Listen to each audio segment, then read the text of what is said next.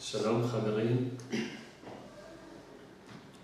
Estamos ya una semana antes de festejar la fiesta de Purim y como todos sabemos, en la época de el rey de Persia, Hashverosh, cuando se levantó Haman Arashá, este hombre llamado Haman en, la, en el cuento de la Megillah,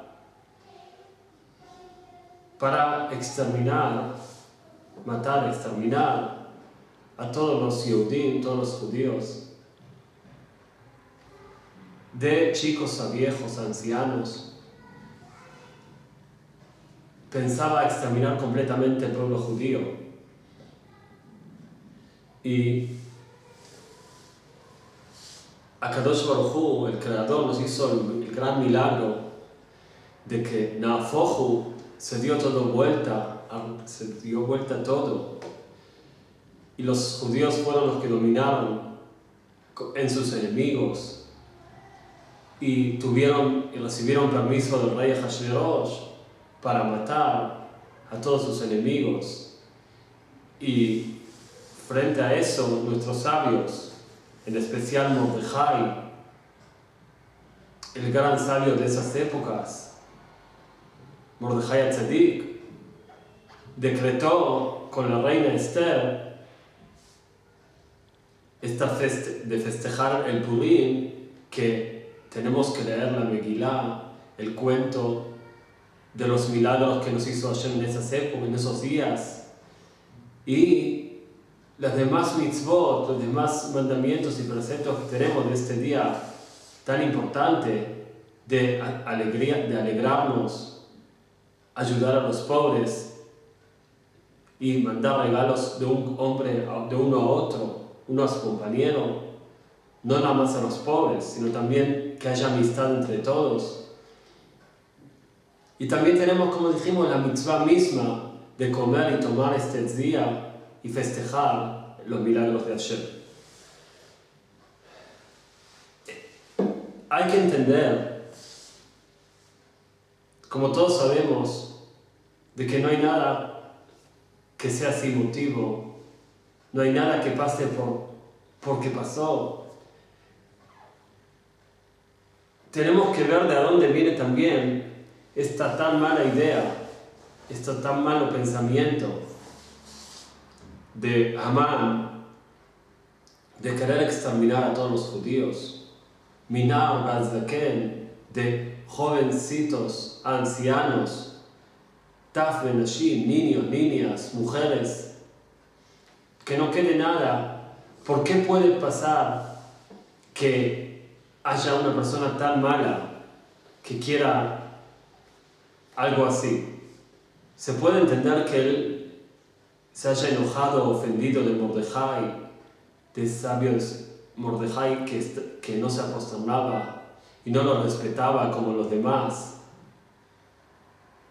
Puede ser que quiera matar también a los alumnos de Mordejai, de este sabio Mordejai. Pero, ¿por qué querer matar a todos? También tenemos en la Torah un precepto de borrar el nombre de Amalek, de esta nación llamada Amalek. Y más a Kadosh Baruj el creador, decreta guerra, milhamala Hashem, guerra para Hashem en todas las generaciones con esta nación llamada Amalek. En la historia vemos que Amalek, cuando el pueblo judío salió de Egipto, salió de Egipto, y ya había terminado todos sus problemas, todos sus sufrimientos que pasó con los egipcios, Después de los grandes milagros que Hashem hizo de castigar a los egipcios con los diez makot, los diez castigos, y después hundiéndolos en el mar del Suf, en Yamsuf, el pueblo judío ya estaba después de tantos años, más de 200 años de esclavitud,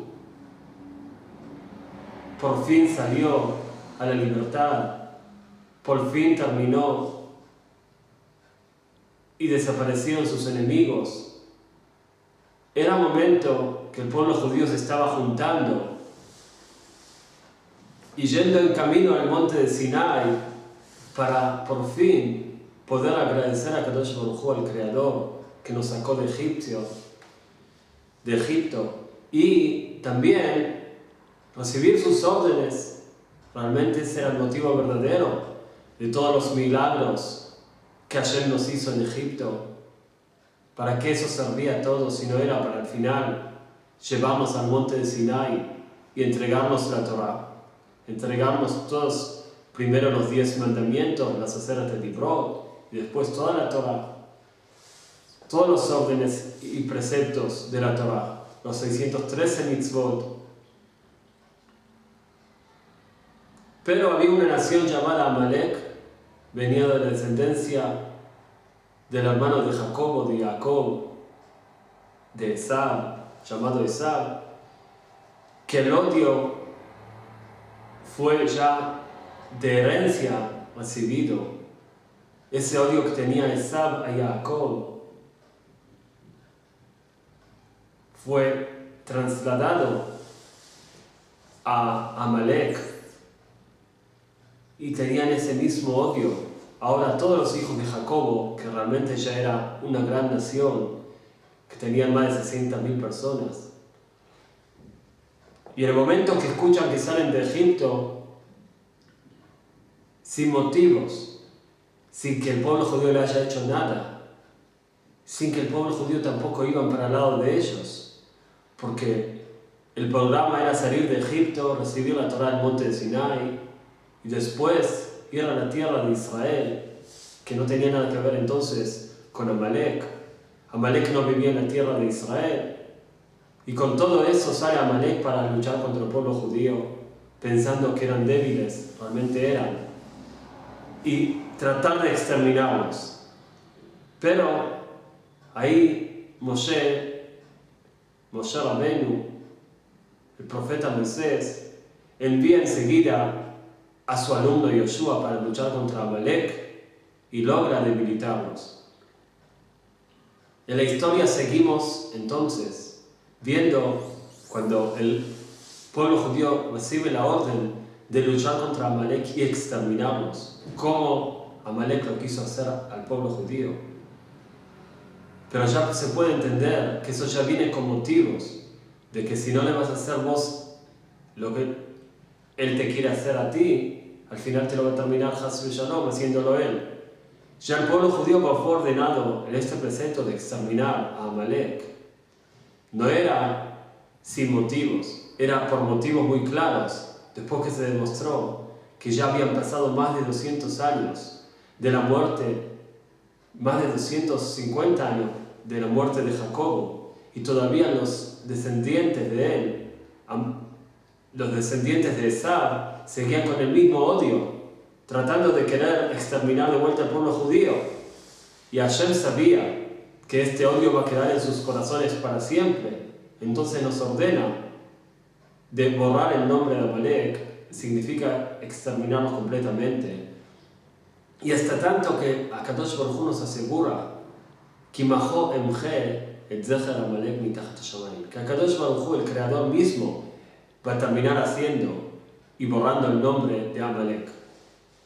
Ahora volvemos a nuestro tema, que realmente no es nada más saber historia. Sabemos también que después el rey Shaul fue ordenado por el profeta Samuel de exterminar a Amalek, pero tuvo lástima de los animalitos. Y ahí fue el problema, como dicen nuestros sabios, porque con brujería el rey y la reina se habían convertido en, convertido en animalitos y no sabía Shaul que estaba salvando al rey y la reina de Amalek. Y cuando se dio cuenta y ya los puso preso, esa noche la reina quedó embarazada y se escapó. Y de ahí salió este nieto, este descendiente malvado llamado Amán. que es el que trató de exterminar al pueblo judío en la época del rey Hashverosh. Vuelvo a decir, no es el tema saber entonces historia. La historia es muy interesante, seguro, pero cuando se saben los motivos de la cosa, ¿qué es lo que realmente quiere Amalek y qué es lo que realmente quiere Amán? Que pasando el tiempo el odio no se le borró de su corazón y sigue estando para intentar exterminar al pueblo judío.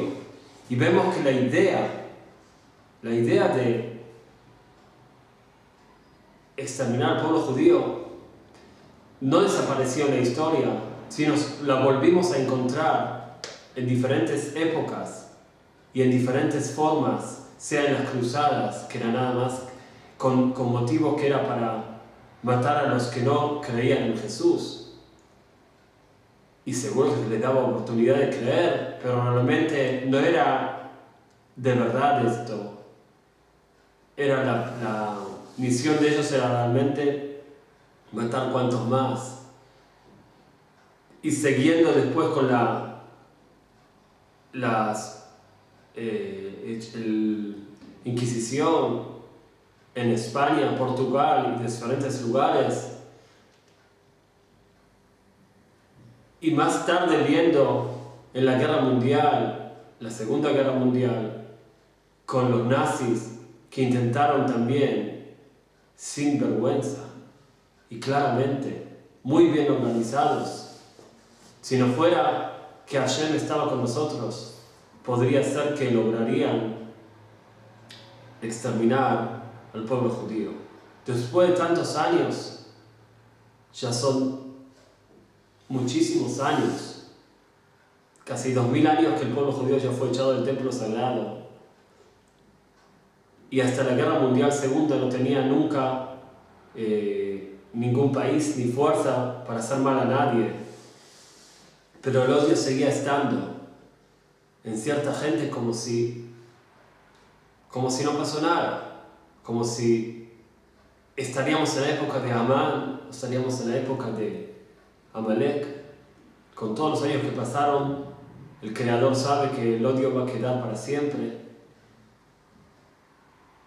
Y esto justamente cuanto más se entienden las cosas, más uno quiere entender por qué, cuáles aquellos quieren llegar. Seguramente estas cosas son muy profundas, son más profundas de lo que uno no puede entender. Pero vamos a tratar de traer algo que lo dijo, que lo escribió el Rabbi Shlomo el Kabet, el gran sabio, estando en la ciudad de Tzfat, acá en la tierra de Israel, hace 500 años más o menos. Y él dice, sabe que la intención de Amalek y Amán era cuando pedían nuestras almas para matarnos, que ellos sabían y tenían bien claro el apegamiento de esta nación de Israel, los, todas las gentes, tanto los, cada uno individual y la, y la nación en general, el apegamiento que tienen en Hashem, como está escrito, ustedes que están apegados en Hashem, en el Creador, viven todos hoy. Y por eso, el corazón del Creador en forma de ejemplo, la intención verdadera del Creador está en nosotros. Si para nosotros es difícil cumplir los preceptos de Hashem, ellos ven otra cosa. Si Hashem les da a ellos los preceptos y las mitzvot para que sean cumplidas por ellos, significa que Hashem los eligió. Y es importante este pueblo en los ojos de Hashem, hasta tanto que Hashem los eligió para que los sirva, para que ellos los sirvan al Creador. Al ser que entonces ven que la iluminación y la braja, la bendición del Creador viene al pueblo de Israel en directo. ellos intentan transmitir a ellos, de cierta forma, toda la braja, toda la bendición, pero no saben cómo. De un lado, ellos también tienen parte en el Creador, contacto con el Creador, quiero decir. Vemos de que Abraham, nuestro padre Abraham, también no nada más trajo a nosotros, no nada más nosotros venimos de él, también los Ismaelí vienen de, los árabes vienen de Abraham. Edom, las naciones que llamadas Edom hoy en día significa Europa en general y más también, vienen de Esab. Esab era hijo de Yitzhak. Si nosotros tenemos nuestros tres padres, Abraham, Isaac y Jacob, ellos también tienen los árabes a Abraham y los europeos tienen, no quiero decir Hasbu Shalom, que no se entienda mal, que estoy hablando de que los europeos o alguien odian al pueblo judío. Para nada, no. Lo único que estoy diciendo es de que realmente ellos también vienen de Abraham y de Isaac. El pueblo judío lo que tiene de más es que también viene de Jacob, de Jacob, los tres padres sagrados. De todas formas, hay gente que es esta nación nada más llamada Amalek, que fueron mezclados realmente, según nuestra palabra de nuestros sabios, en las demás naciones. Y más también, hay algo de eso también en el pueblo judío mismo como dice el Zohar.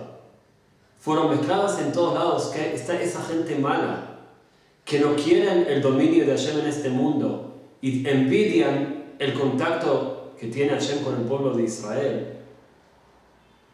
Y al ser que ellos también tienen cierto contacto, al ser que vienen de Abraham, del padre Abraham o de Isaac,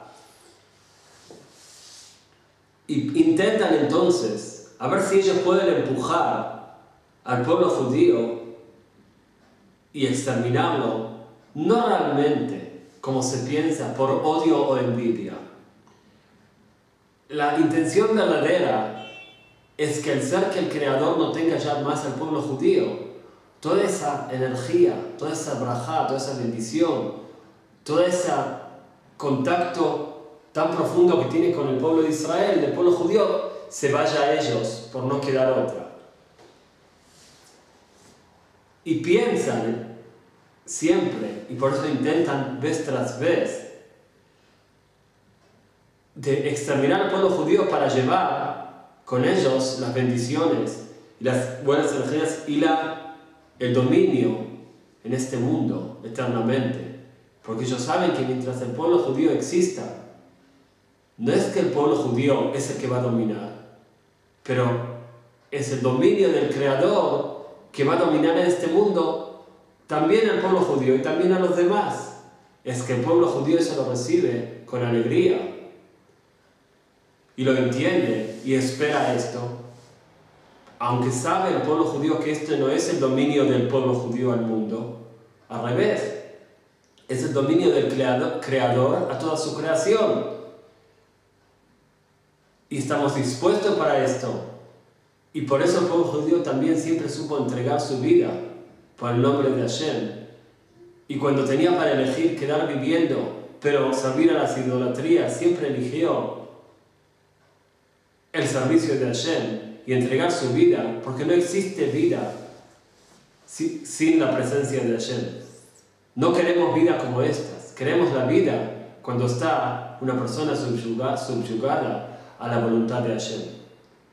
Pero las demás naciones, realmente las demás naciones, no se, no se oponen a esta idea. Puede ser que no la reciban, puede ser que no la entiendan, pero no se oponen, no se niegan a esta idea, para nada. Al revés, si ellos verían la grandeza del Creador y tendrían una oportunidad de acercarse a Él como debe ser, lo harían como lo van a hacer en el futuro. Solo una nación llamada Amalek. Hashem sabe que ahí concentró todo el mal. Hashem concentró ahí toda la oposición a la presencia de Hashem. Y esa, generación, y esa nación, como dijimos que hoy en día está dispersada en todos lados, cada nación tiene un poco de ellos. Cuando llegan momentos que fueron decretados, se juntan en cierta nación y ahí pasa lo que pasa, como pasamos hace 70 años, más o menos, en la guerra mundial. Pero eso es un ejemplo. Esto todavía no terminó hasta que no venga el Mashiach, hasta que la presencia, la presencia de Hashem no esté clara y Hashem no domine en este mundo, no reine en este mundo. Todavía este problema está. Realmente entonces lo que ellos quieren es heredar nuestro lugar, nuestro contacto, nuestra dvekut, nuestro apegamiento al Creador. Por eso Amalek, cuando viene a luchar contra el pueblo de Israel, cuando escucha que salen de Egipto y a dónde van a entregar la Torah. Son varios pasos que Amalek entiende que cada uno que va pasando es un peligro más. Cuando escucha que el pueblo judío va a ir recibiendo a los mandamientos de Hashem, las enseñanzas de Hashem, la Torah, entiende que ahora se hace acá un contacto más fuerte, más serio, más difícil después destruirlo. Aunque nosotros sabemos que es imposible. Amalek intenta porque no piensa que es imposible. Nosotros sabemos que es imposible según la profecía que nos dice, según los profetas que nos dicen el futuro. Pero lógicamente podría ser, podría equivocarse, como se equivoca Amalek pensando que existe, romper este contacto. Entonces Amalek cuando ve que el pueblo judío va a recibir la Torah, intenta destruir, intenta luchar contra el pueblo judío antes y tratar de exterminarlo, antes que reciben la Torah, sabiendo que después que reciben la Torah ya se hace más difícil. Esto lo mismo se despierta de vuelta. Amalek, en forma clara y directa, cuando empieza el reinado de los el reinado de David, del rey David, está por llegar el reinado de David a este mundo. Por eso Hashem le da orden al rey Shaul, que reinó años, dos, tres años, unos años antes del rey David, luchar contra Amalek, exterminar a Amalek para poder hacer, para poder darle reinado al rey David como debe ser. Realmente Shaul debilita a Amalek, casi lo extermina. Pero al ser que no escuchó en las palabras de Hashem como debe ser, y eso es lo que le provocó perder el reinado, y el profeta Shmuel fue mandado para reinar al rey David. Quiere decir que en esta época Kadosh Baruj el creador, adelantó la, el castigo a Amalek antes que vengan ellos. Lo mismo vemos después cuando se despierta Amalek, cuando el pueblo judío está por, ya después de la destrucción del, del primer templo sagrado, Ahí 70 años ya pasaron y el pueblo judío ya está esperando que se cumpla la profecía de los 70 años de Galut, de ser echados de la tierra de Israel y volver al, volver al reinado de Israel, en la tierra de Israel. Y ahí se levanta este hombre llamado Amán Rasha, el mal hombre, intenta con todas sus fuerzas y posibilidades y dinero de convencer al rey Hashverosh, el rey de Persia de esos días, de exterminar al pueblo judío, sabiendo que ellos ahora tienen la construcción del segundo templo sagrado. Y así fue, muy pocos años después de que el pueblo judío se salvó de este decreto, mal decreto, de Hashverosh y Amán. Enseguida el hijo ya de Hashverosh da orden y permiso de construir el segundo templo sagrado. Vemos que Amalek aparece siempre en momentos que el pueblo judío está por subir, está por tener más contacto con el Creador. Y ahí aparece Amalek. No tenemos también hoy en día la posibilidad de explicar por qué justo se levantó Amalek en la Segunda Guerra Mundial, pero sí se puede decir, no por sabiduría de profetas, sino por lo que nuestros ojos ven, que antes que el pueblo judío se levante de vuelta y tenga el permiso y la oportunidad de volver a la tierra de Israel, como Baruch Hashem, gracias a Hashem, ya estamos aquí. Aparecen los nazis que quieren exterminar de vuelta al pueblo judío. Vemos entonces que cada vez que el pueblo judío está por reforzar su contacto con el Creador, aparece esta nación malvada de Amalek que intenta exterminarlos antes que reciban su, su nuevo su nuevo contacto con el Creador. De todas formas, más que entender lo que estamos explicando, nos queda también hablar de las enseñanzas de Purim mismo, de este milagro de Purim, que nuestros sabios nunca nos dejan sin saber las cosas como deben ser. Gracias a Shem, gracias al Creador, que nos dio a nuestros sabios, que nos enseña la Torah verdadera como es y nos descubren los secretos más profundos de la anagá, del conduct, de la conducta del Creador en su mundo y con nosotros en particular. Y con cada uno y uno en particular. Sea nación que sea, todo está en la Torah. La Torah nos enseña los programas verdaderos del Creador, que pase lo que pase al final serán. Y realmente así es. El que tiene ojos para ver y buen corazón para entender, lo entiende y lo ve. Esto es lo que pasa entonces, lo que nos cuentan nuestros sabios, en Masejet Megillah, en el Talmud, que los alumnos del gran sabio Rabbi Shimon Bar Yochai, escritor del Zohar, le preguntan a su rabino, Rabbi Shimon Bar Yochai, ¿por qué Israel ¿Por qué fueron obligados, significa por qué fueron castigados el pueblo de Israel en esa época? Exterminio. Es verdad que al final no pasó, pero el hecho que se pusieron, estaban en un problema tan grave y en un peligro tan grande, tiene motivo.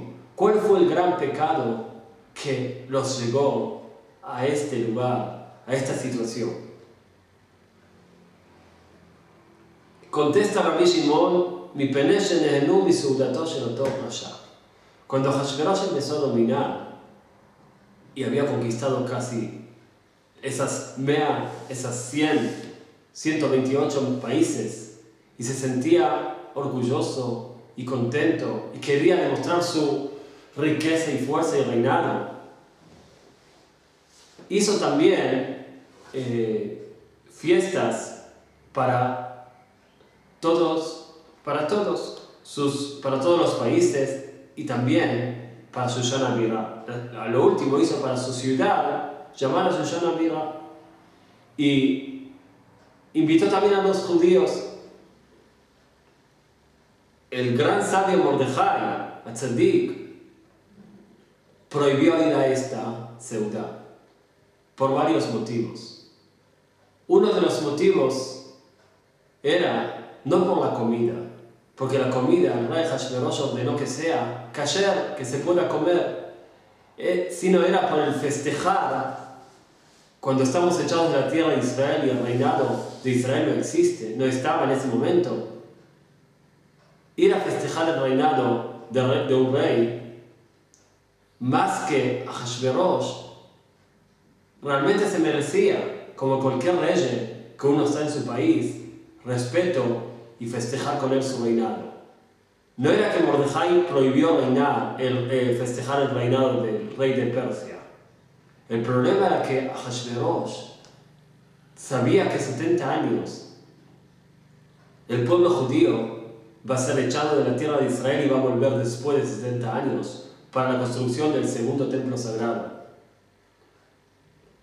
En su cuenta, Hashverosh vio que los 70 años pasaron y la profecía esa no se cumplió. Ahí fue la festeja, empieza a festejar Hashverosh. Y no más, pide traer los kelim, los recipientes, las cosas que el rey de Babilonia, Nebuchadnezzar, había sacado, robado del templo primero, sagrado, y pide que usen esos kelim, esos vasos, esas botellas de oro. Porque según su cuenta ya no va a pasar más, ya el pueblo judío no va a ser salvado más. Significa que Ahashverosh acá está festejando, con, está festejando la, la, que esto que él entiende que el Creador abandonó al pueblo de Israel. No les construye el segundo templo sagrado como aseguró con la profecía. El tema es que Ahashverosh se equivocó en la cuenta, pero eso lo dejemos de lado. El pueblo judío cuando va a festejar esta fiesta, en ese momento, Akadosh Baruj el Creador, les decreta exterminio. Le preguntan los alumnos, Entiendo, Rabbi, vos decís que porque comieron del Nehenú, tuvieron placer de la ciudad, de la fiesta que hizo el rey Hashverosh. Eso se entiende en Shushan, en la ciudad que fue hecho la fiesta. Pero ¿por qué fueron el decreto, el decreto del exterminio? Fue a todos los judíos de todo el mundo. Y no estuvieron en esa fiesta. Les contesta, dice Rabbi Shimon, bueno, no aceptan mi contestación. Digan ustedes tu la contestación. Se ve que ustedes saben algo. Le dices, claro que sabemos. Mi pene,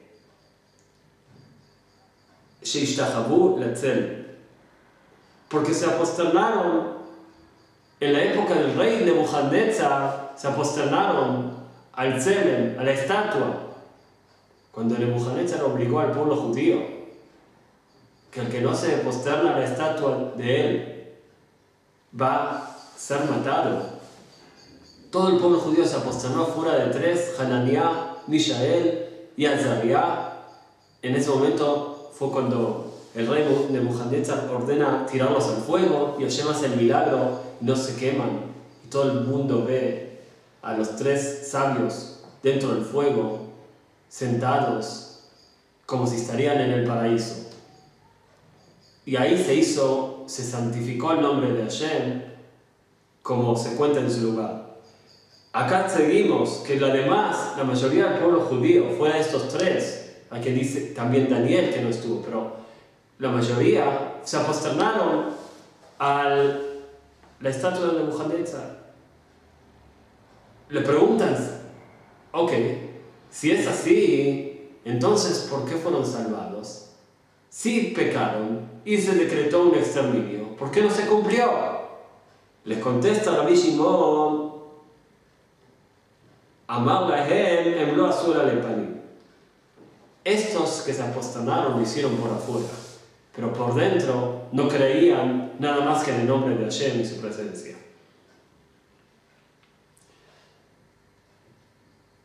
Por eso el mismo Amán decretó sufrieron, pensaban que iba a pasar algo, pero Kadosh Baruj con sus milagros anuló completamente esta, este malo decreto. Hay mucho para estudiar de estas palabras de nuestros sabios, pero voy a eh, hacer las cosas más cortas, no muy largas, para que no alargar mucho. Y voy a decir, ¿qué está pasando aquí? Realmente, vamos a explicar bien este cuento, esto, lo que, estamos estudiando. Rabbi Shimon puso motivo. El motivo de Rabbi Shimon era por qué el pueblo judío fue decretado exterminio, porque comieron y festejaron la fiesta del rey Ahashverosh que estaba prohibido. Los alumnos le dicen a Rabbi Shimon y Rabbi Shimon acepta con ellos que era porque se aposternaron a la estatua de Nebuchadnezzar, aunque sea que no lo habían hecho por corazón, sino por afuera. Nos explica el Manota Levi que esta, cada, cada una completa a la otra. La pregunta primera es, Nebuchadnezzar se aposternaron a la estatua, eso había pasado casi hace 70 años. ¿Por qué el Creador se acordó de castigarlos ahora? Y si vamos a decir que, es porque comieron y festejaron con el rey de Persia, ¿tan grave es esto? No es tan grave. No es tan grave para matarlos por esto, para decretar exterminio. Por eso el Manota Levi nos explica que un pecado es la consecuencia del otro. O más que esto también, un pecado con el otro se juntan juntos y ahí se convierte en un pecado grave. Cuando ellos se apostonaron a la estatua de Nebuchadnezzar, no estaban, eh, estaban obligados, estaban amenazados de muerte y lo hicieron por afuera, pero no por corazón. Entonces, tendrían que haber sido castigados porque por el, el corazón todavía no había pecado. Y lo principal es la intención de uno. La intención de uno no era mala en ese caso, era por peligro nada más. En la ciudad de Sarashá, cuando vinieron a comer y festejar en la, en la fiesta del rey de Persia, en el hecho no había nada malo, porque la comida se podía comer. Ahasuerus se ocupó de traer comida kasher, comida permitida completamente para los judíos. Vino que no era Neser. No había el problema de la comida estaba prohibida. El problema era la intención, el placer que tuvieron en ese festejando, en esa fiesta, que realmente se estaba festejando, el abandono de Kadosh Baruj del Creador a su gran programa de la construcción del templo sagrado y de la y su contacto, tan, contacto tan importante con el pueblo judío. Ahasverosh en ese momento se equivoca y piensa que se terminó el Kesher. Akadosh Baruj abandona completamente sus programas y al pueblo judío. Y ya llegó el momento del dominio de los hijos de, de los que no creen, de los, no de los hijos del, no del pueblo de Israel. El pueblo judío entiende y sabiendo que en esa fiesta se están usando los recipientes, los kelim del templo sagrado, profanándolos. Y con todo eso festejan con ellos porque ellos también empiezan a creer que el Akadosh Baruj el Creador, los abandonó. En los hechos no había nada malo, en el corazón era muy malo. Era realmente ir detrás de las idolatrías de los pueblos y abandonar la fe en el Creador. Eso era algo del corazón. Cuando se junta el pecado de apostenarse a la idolatría de Nebuchadnezzar con el pecado de el placer de esa festejar, de festejar con esa rasha, con ese malvado. Acá se completa, lamentablemente, el pecado completo, por afuera y por adentro en el hecho y en el corazón, en la intención. Por eso nuestros sabios, se puede entender ahora lo que nuestros sabios nos dicen.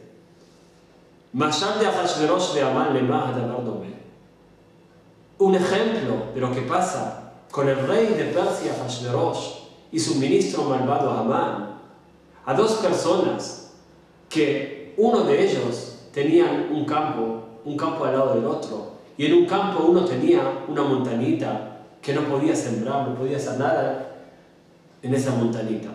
Le molestaba.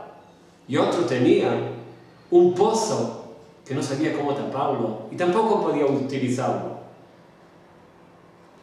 Bal Harit, el que tenía el pozo, decía, ¿quién me daría esa montañita de tierra con plata para llenar mi pozo? Y el, dueño de la montañita de tierra decía, ¿quién me daría ese pozo con dinero para poder llenarlo y sacarme encima toda esa tierra que está de más y poder usarla en mi campo? Un día se encontraron charlando uno con el otro. Le dice el que tenía el pozo, al que tenía la montanita, vendeme tu montanita de tierra. Le dice, llévatela vejinam, gratis, ¿qué vendetela? Ojalá que te la lleves. Cuando viene Amán, este malvado Amán, y le pide al rey Hashverosh que le dé permiso de exterminar al pueblo judío, pagándole las 10.000 monedas de oro. El, rey Hashverosh se las devuelve las monedas de oro y le dice, llévate el dinero y este pueblo como quieras. Los dos tenían cierto problema con el pueblo judío. Ahashverosh veía al pueblo judío como una montaña de tierra que le molestaba.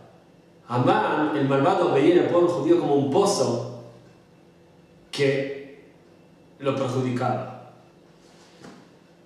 Cuando se encuentran entre los dos, piensan entonces solucionar los problemas de los dos, o que cada uno tenía otro problema. No quiero entrar ahora en el tema de la profundidad de, este, de estas palabras, de nuestros años en el Talmud, en el Maseja Megillah, pero sí quiero relacionarlo a lo que estábamos diciendo antes. Dos cosas había acá malas en el pueblo judío que tenían que arreglar.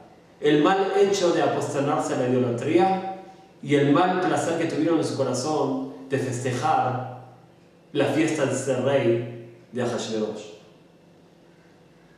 Ahashverosh entonces ahora viene y representa el mal hecho que ellos hicieron de antes, cuando se apostonaron al rey de Bujaneta.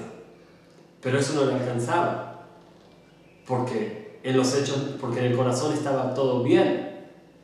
Venía Amán y traía entonces ahora este pozo significa este corazón que estaba mal, profundo, adentro de uno.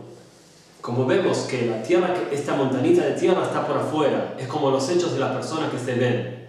Y Amán viene con un pozo, lo que está profundo adentro que no se ve, viene a ser la mala intención que tuvo el pueblo judío cuando festejaron con Hashverosh y aceptaron ir detrás de sus idolatrías y abandonar a Kadosh Baruj al Creador, pensando que Él los abandonó. Aunque sea que ya nos aseguró vez tras vez en la Torah que nunca nos va a abandonar. Por eso eso, la falta de fe en el Creador es lo que le llegó después, nos llevó después a creer y equivocarse y festejar esa fiesta fea y mala. Entonces cada uno trae otra parte del pecado que entre los dos se convierte el pecado en algo muy grave, hasta tanto que se merecían, Ithaibú, fueron decretados de Klaya, de exterminio.